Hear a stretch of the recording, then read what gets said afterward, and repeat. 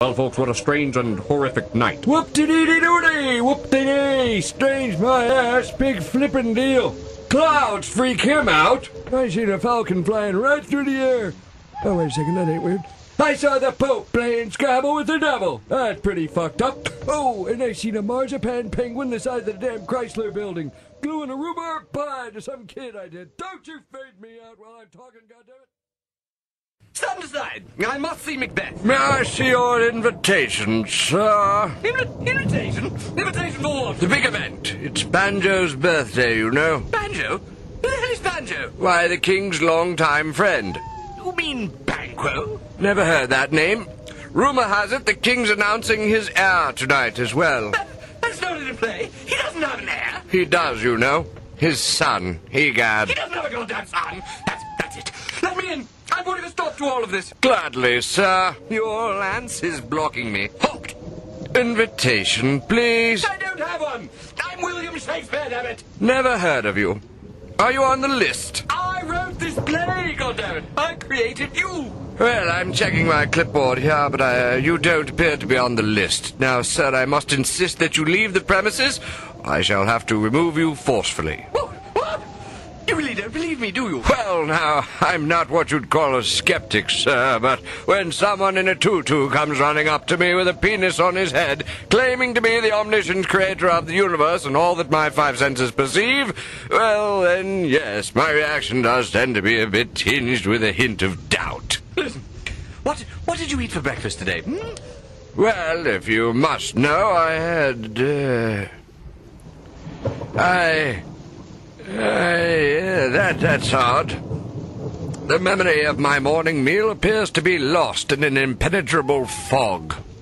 Eggs Eggs? What, what do you... and toast, perhaps? do you actually remember eating those things? Uh, No, sir, no, I don't. Great, great, okay. It was merely a guess. Great. All right, now, uh, where did you grow up?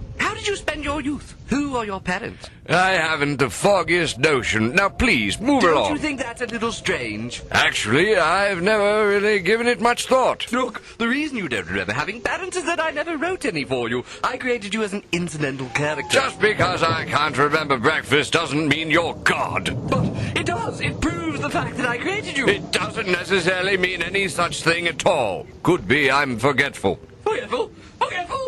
You don't remember a single fucking moment before this? That's not true. It's not true. Not at all. I remember a great many things. Like what? Well, for one, I remember you. Me? Yes, you, running up here from over there, I believe. That's this scene, God. Well, then perhaps that means I'm very, very forgetful. Now, sir, I'd love to continue this conversation, but I must return to my duties. Give me that. Sir, that clipboard is castle property. Do, do you have a pen? Oh, yes, yes, here you are, good sir. Thank you. I just have to write something. Sir, that pen is castle property. All right. Do you have any childhood memories now? Well, my oh my, come to think of it. Yes, yes, I do. I now recall an incident from my youth when my mother, who was an enormous marzipan penguin, glued my left cheek to a rhubarb pie. Well, now I suppose that ruins your little theory now, doesn't it? Yeah. Read this. The butler suddenly remembers a moment from his youth when his mother, an enormous marzipan. Oh my! well, Pretty peculiar, eh? Uncannily so. Well done, sir. Well done. Thank you. Thank you. Now, Sir, I believe I owe you an apology. no, that's all right. Now, look. In just a few minutes, sir, you've managed to radically redefine every notion I've ever held regarding God and the nature of the universe. That's that's great. Assuming I had any. That's, that's okay. Now, look, as your curator, I must insist that you stand aside. Absolutely, sir. Right this way. You please lift your lance. Invitation, please. what? Your invitation, please. What the fucking hell are you talking about? Let me in. Not to put too fine a point on it, sir, but if my own dear mother waddled up here on those enormous marzipan flippers of hers and failed to provide me with a proper invitation, I would fulfill my sworn duty and bar her passage. Now I realize what I'm about to say may seem a bit presumptuous for an incidental character such as myself, but it seems to me a smarter man would have simply written the words, The butler lets Shakespeare pass, on the clipboard. Give me that. Give me that. Right, that's it. I've made the castle regulations more than clear to you, sir, and afforded you ample opportunity to comply with them. I doubt you will find this vigorous bludgeoning you are about to receive incidental. Guards, bludgeon him.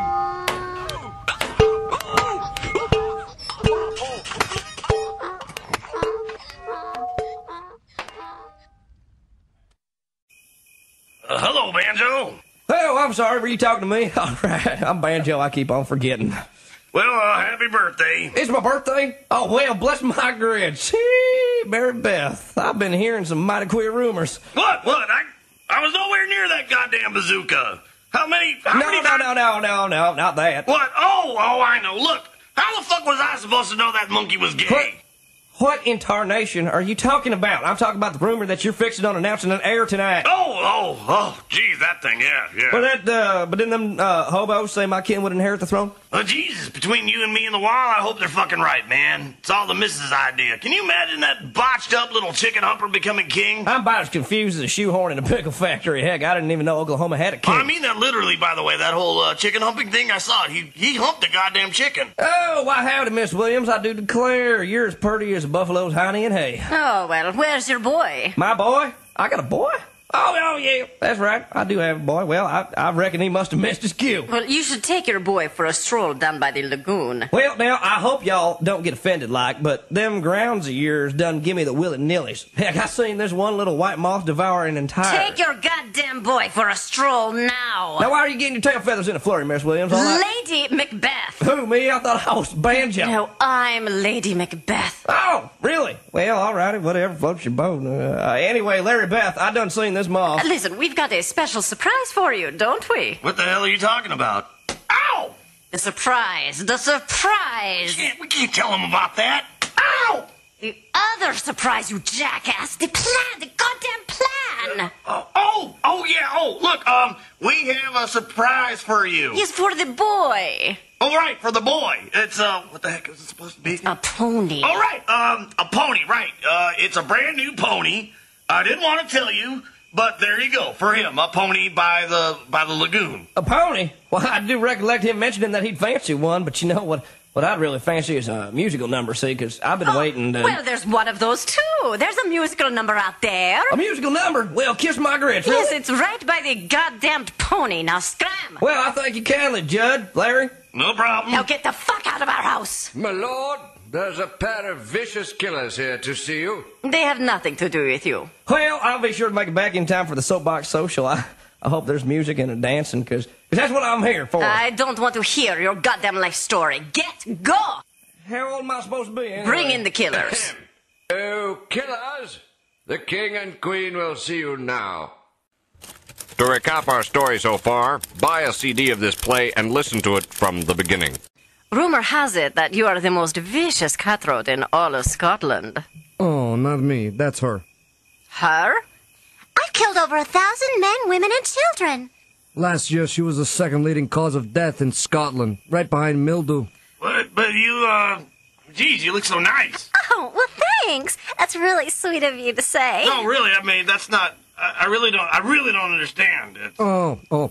She doesn't kill them when she's like this. Uh, not when she's like that. No, she's a were-rat, see? Like, uh, the moon rises, she transforms into a 300-pound rodent.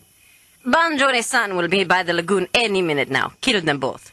Uh, well, the moon will be up shortly. We'll be by the lagoon soon, waiting for the moon. Why are we out here, Dad? Oh, you're talking to me. I keep forgetting you're my boy. Well, uh, we're out here on account of a surprise. Oh, really? What kind? Well, now, if I told you, it wouldn't be a surprise now, would it? Excuse me. Ah, a mommy. What? Where? You, you're the mummy. What the hell are you... Listen, would you happen to know... Wait a minute, I know you. Oh, good. Fantastic. Would you happen to know... You're not no mummy. Well, yes, I know that. You're Richard Rodgers with a dig on his head.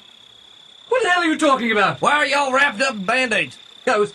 I was badly abused by the castle guards. Listen, I need to find that blasted heath. The blasted heath where the witches are. Macbeth is due to arrive there in a couple of scenes, and I, I finally hope to be able to stop this wretched play. There's a couple of hobos over that way. You've been absolutely no help whatsoever. Thank you again for completely wasting my time.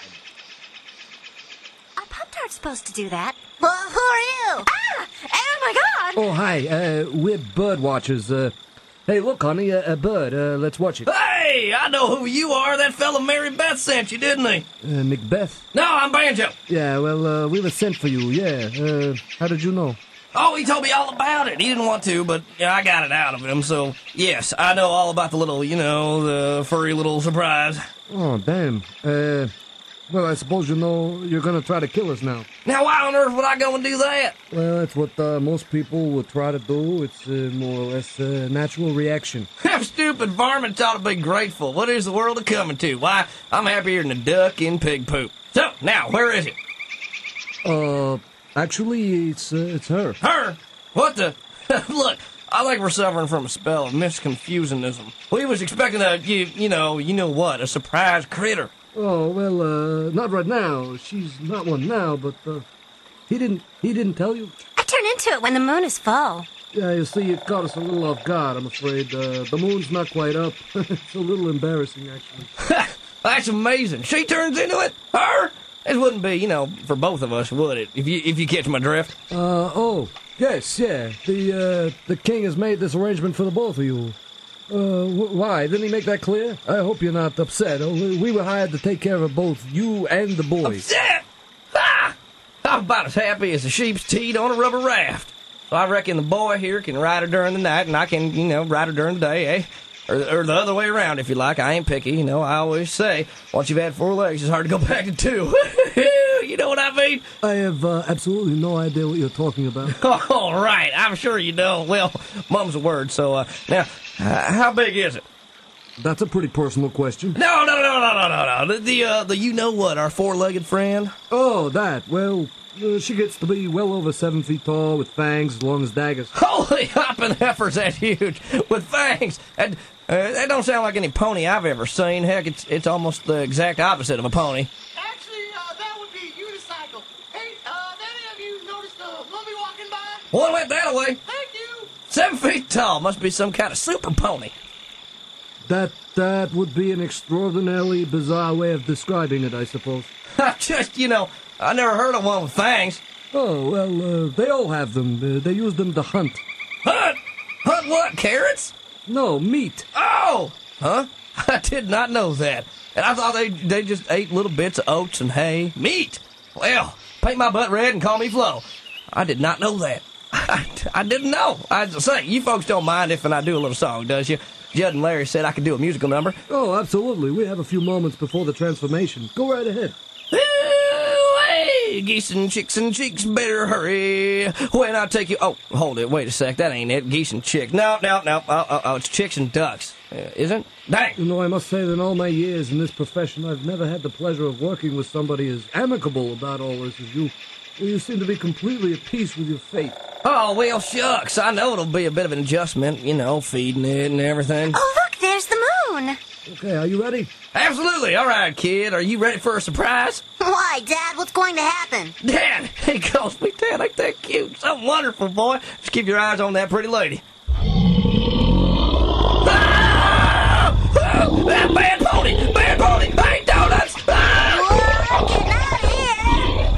after the boy. Hey, get. Uh, he's getting away. No, no, that's a deer. Hey, don't, God. Ah, come on. Don't leave it. Leave the goddamn deer alone. Get back here. Get, get. Damn it. Holy shit. A pop tart supposed to do that?